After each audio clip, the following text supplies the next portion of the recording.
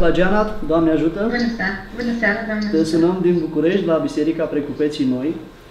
Mai devreme am vorbit cu Părintele Blagoie, ne-a ținut un cuvânt deosebit și da. alături de cuvântul lui care ne-a adus ceva din lăuntru poporului vostru. Te rugăm să ne spui, așa cum l-ai cunoscut pe Părintele Patriar și cum ai dorit uh, prin această carte și prin celelalte să îl aduci mai aproape de poporul nostru. Te ascultăm. Păi uh, și eu, ca, ca și voi, pe Patriarh, uh, mai mult prin carte l-am cunoscut, adică cei drept l-am văzut și am fost de câteva ori prin preajma lui. Dar parcă așa, prin cuvântul lui, îl cunosc și mai bine acum și dacă citesc, de exemplu, predica care a ținut-o el când a fost hirotonit episcop, parcă pot să zic, adică unde a zis el tot ce, cum vede el slujba asta și ce model are el, parcă așa a fost, adică nu putem decât să spunem că așa a fost patriarh. Da. Uh, eu mi-aduc aminte că mergeam, uh, oricând mergeam în Belgrad, de exemplu, mă duceam la catedrala, uh, unde vis-a-vis era patriarhie. Și uh, acolo puteai să-l vezi pe Patriarhul Pavel cântând la strană, la o simplă vecernie, el cânta la strană, adică nu era îmbrăcat nici măcar în haine de patriarh, așa. Era ca un, așa, ca un simplu călugăr și uh, el, de fapt, Uh, și fiind patriarh, a continuat să trăiască așa, ca un călugăr. Poate dacă ați citit cărțile uh, care le-am tradus, o să vedeți că acolo de multe ori se spune că cât de puțin mânca el, de exemplu, așa. Uh, l-am cunoscut și prin niște... Am fost apropiată de niște maicuțe unei mănăstiri, unde el venea des și ele, de exemplu, îmi spuneau că în afară faptul că mânca puțin, uh, orice rămânea în farfurie, jumătate de măr sau jumătate de uh, asta, roșie, el pe urmă mergea la ele și spunea, nu aruncați, puneți într-un pachet, așa, ca să am și eu pentru masă de seară, așa. și pe lângă asta spunea, uh, de firmiturile, zice, ce, ce curățați acolo pe masă, puneți într-un șervețel să dau și eu păsărilor pe care o să le întâlnesc pe drum. Uh, ce aș putea să mai spun așa, că uh, adică el a fost un pildă așa de, de smerenie, în primul rând, uh, la fiecare pas așa și la fiecare cuvânt uh, al lui și faptul că cât de mulți oameni au venit la mormântare, nu mai știu cifra, dar Asta și pe noi sârbii ne-a surprins pentru că uh, la noi este o zicală că doar înțelegere sau doar unire poate să le unească pe sârbii, adică uh, cât de mult e așa dezbinare și între noi și asta e, dovedește că uh, mormântarea lui a reușit să adune atât de mulți oameni și uh, pur și simplu pe patriarh am toată lumea uh, îl îndrăgea și asta de la oameni simpli până la cei mai mari intelectuali, așa. Uh, și, de exemplu, ce lucru așa caracteristic e uh, atunci, în tot, toți anii astea de război, așa, el n-a fost om care Uh, se credea că știe el, adică el a avut niște cercuri, a făcut niște cercuri în patriarhie, unde a încercat să uh, adune uh, intelectuali din toate domeniile și unde dezbăteau diferite probleme de societate și pur și simplu vroia să audă părerile lor. Așa. Și uh, lucru care mulți nu înțelegeau la patriarh este cum el reușea să uh, îl împace uh, pe toți, adică, uh, adică părți care sunt potrivnice, de exemplu. Adică el în același timp putea vizita și pe președintele Serbiei și pe politicieni cu opoziție. Și asta mulți nu înțelegeau. Dar el putea să găsească care să fie bun pentru toți și să încerce să înțelege pe toți. Uh, ce aș putea să mai spun? Uh, bine, pot să mă, acum pot să mă contrazic în sensul că nu chiar a fost pe placul tuturor, pentru că el, având așa o viață de... adică fiind foarte aspru cu el, uh, el, adică prin asta și nevoința,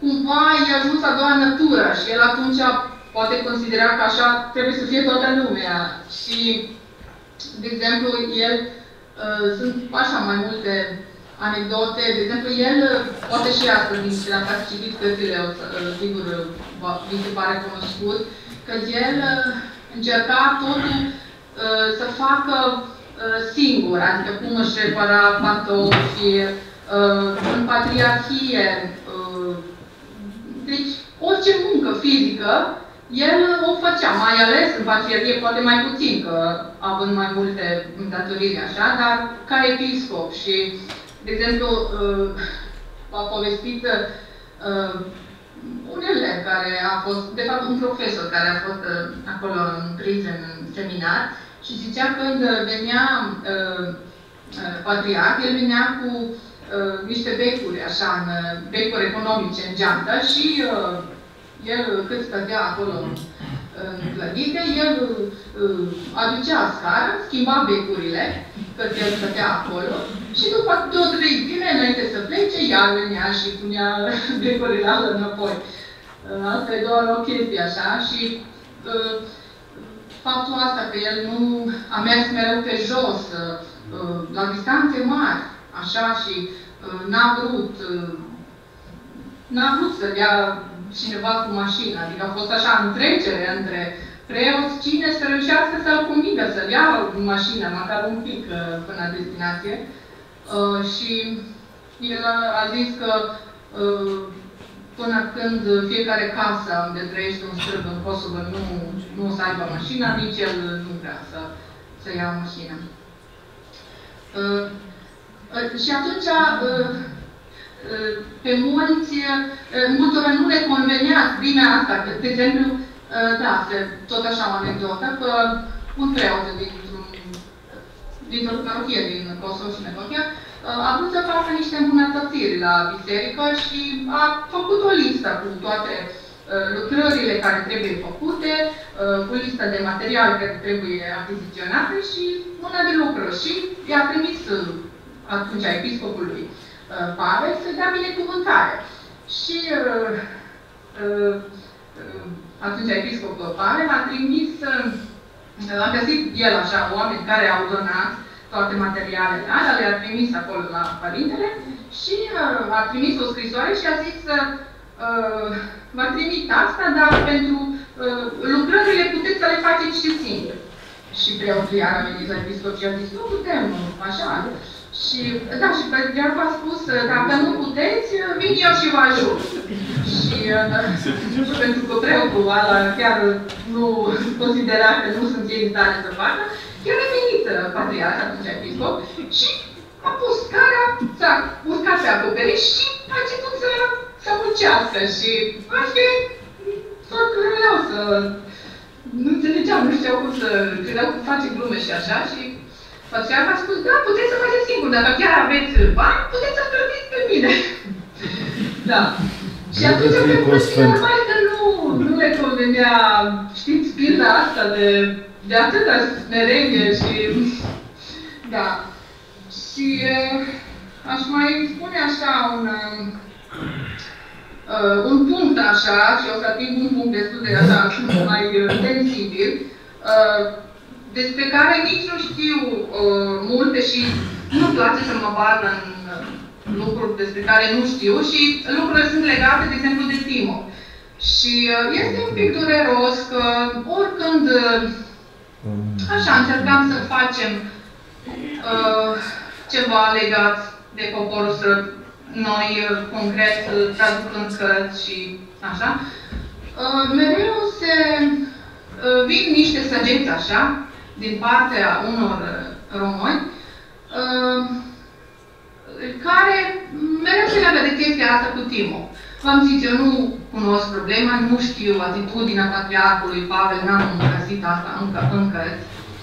Dar uh, pot să spun că uh, comentariile astea pot să vină doar din partea oamenilor care nu, mm, nu uh, știu despre patriarhul Pavel, care uh, nu știu ce, mm, ce fel de om el era, pentru că dacă uh, citiți un pic despre el, uh, o să înțelegeți ce fel de om era și că sigur nu, uh, nu era genul să trateze problema asta în așa fel cum îl judeca mulți.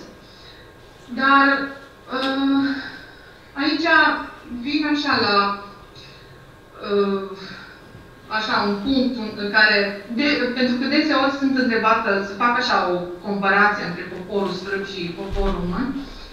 Și una din chestii care am observat și care e legată de ce am, ce am spus înainte, este că poporul român, spre bine, așa, n-a avut experiența asta a războiului. Adică să simți pe pielea ta uh, ce înseamnă asta, adică să trăiești. Și atunci judeci altfel. Dacă treci prin experiența asta, judeci altfel. Și, de exemplu, legat de chestia asta cu Timo, mie îmi vine o imagine așa în cap, dar eu vorbesc din inimă, nu vorbesc din cunoștințe, pentru că v-am zis, nu știu atitudinea pătriarhului legată de chestia asta. Uh, este ca și când uh, o mamă bună uh, are doi copii și unul este foarte rănit. Și ea e ocupată cu el, adică bandejează rănile și așa. Și pe lângă asta este un copil care în clipa aia uh, poate are și returile desfăcute și el se, o să zică, ia uite ce mama e, nu vede că mie și returile sunt dezlegate. Deci cam așa văd. Și aici cu mama care bandejează copilul, îl văd pe Patriarhul Pavel cu treburile care a fost el, uh, cu care a fost ocupat în toți anii ăștia de, uh, de război. Cât el s-a implicat Adică mai mult decât poate a fost chemat, adică uh, încercat să rezolve niște chestii care poate politiciani trebuiau să rezolve, dar el n-a stat să se gândească așa. Uh, și uh, așa, aș încheia cu uh, o remarcă că am, am observat că mulți dintre creștini, așa noi, uh, unde mă inclus pe mine, uh, cumva ne mai speriem de vremurile în care trăim, de ce se, uh, ce se poate vedea cu, cu, cu ochiul liber ce urmează, așa. Și uh, este un gând totuși care pe mine mă mângâie. De exemplu, uh, Paralela care, paralela care am făcut de Patriarhul Pavel și Stareț Tădei, care amândoi sunt născuți în anul 1914 și toți știm ce s-a întâmplat și ce nenorociri au început în anul ăla. Și am așa un gând de mângâiere că, da, uite, Dumnezeu îngăduie niște nenorociri pe lumea asta, dar în același timp, uite, trimite și uh, niște oameni care să le avem noi ca, așa, ca niște, ca pilde și mai mult ca vindecatori, așa. Uh, și atunci, da, încheiem cu cuvintele Patriarhul Pavel că Dumnezeu va, uh, va ajuta, dar are pe cine să ajute. Deci tot, uh, tot pe noi trebuie, la noi trebuie să lucrăm. Cam atât.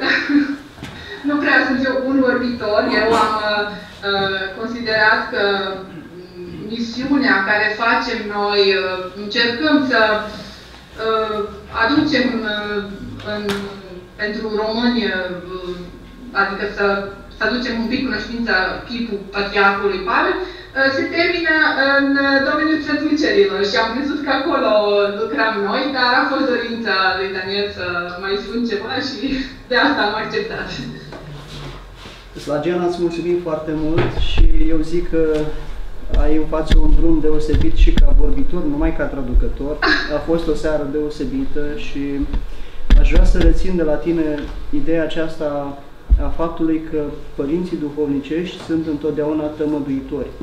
Și suntem da. în duminica unui ierarh taumaturg. Da. Nu e nimic întâmplător, nimic, nimic, nimic. Îți mulțumesc foarte mult pentru... Eu vă mulțumesc, da. În primul rând pentru traducere și lui Ionuț îi mulțumim și vă urăm în continuare să contați pe noi ca cititori, în primul rând, și ca sprijin, așa cum vă rândui Dumnezeu. Mult Așa succes să și fie. un an cât mai bun de traducere. A fost un an dedicat traducătorilor Da. de carte bisericească. Voi sunteți o familie de traducători de carte bisericească. A trebuit să vină momentul în care și scriitorii și jurnaliștii bisericești ar trebui să fie uh, mai în atenția bisericii, pentru că autorul acestei cărți, deși este un jurnalist în sensul laic al cuvântului, el devine prin această carte, prin această icoană, un jurnalist bisericesc. Un, un scriitor de, de carte bisericească, da. Uh, Mulțumim frumos pentru intervenție plăcere, și cu plăcere, mai ales mulțumesc. pentru traducerea acestei cărți deosebite. Așa. Doamne ajută, Doamne ajută. Poma Jebo. Bun, Poma. La sârbă se zice Poma Jebo.